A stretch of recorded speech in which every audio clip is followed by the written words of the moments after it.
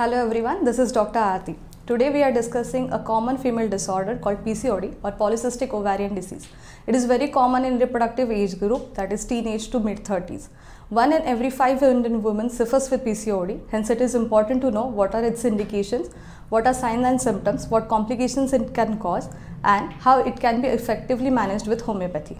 So what actually happens in PCOD? In a normal female body, during process of ovulation, an egg is released from the ovary to fertilize with a sperm.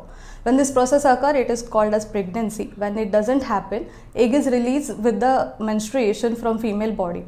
During PCOD, this process of ovulation is hampered as ovary are turned into multiple cysts.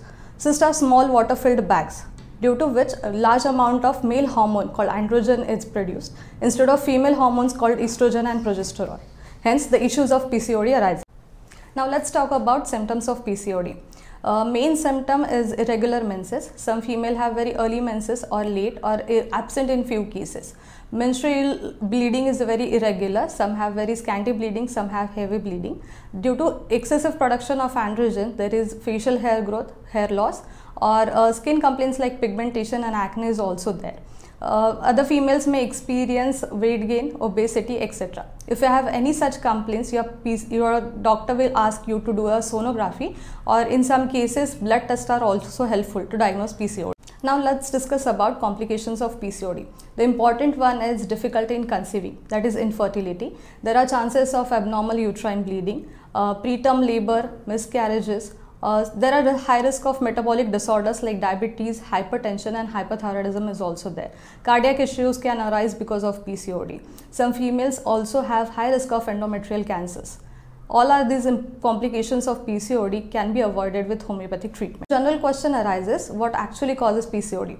Exact cause of PCOD is not known, but it is believed that family history, sedentary lifestyle, chronic stress or hormonal imbalance can cause PCOD. Another psychological aspect like German New Medicine suggests situations where female may experience loss conflict can trigger PCOD. Actual loss of loved one like pet, pet or family member or uh, situations uh, where you are separated from your loved ones like breakup or betrayal of a partner or a friend or a miscarriage or abortion. In such situations, female may experience loss conflict. So let's talk about management of PCOD. PCOD can be managed effectively with lifestyle changes like balanced diet, regular exercise, stress management, etc. This not only removes your symptom but also improves your overall health. Homeopathy also have a good result in PCOD.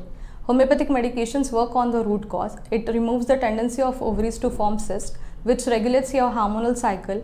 Menstrual cycle becomes more normal and symptoms because of it like acne, hair fall, obesity reduces significantly. So, though hormonal imbalances, other complications are involved in PCOD, it can be effectively managed with the help of homeopathic medications. In conclusion, PCOD is a complex condition that requires proactive management and understanding of the disease. With the help of homo regular homeopathic medications and lifestyle changes, women with PCOD can live fulfill life.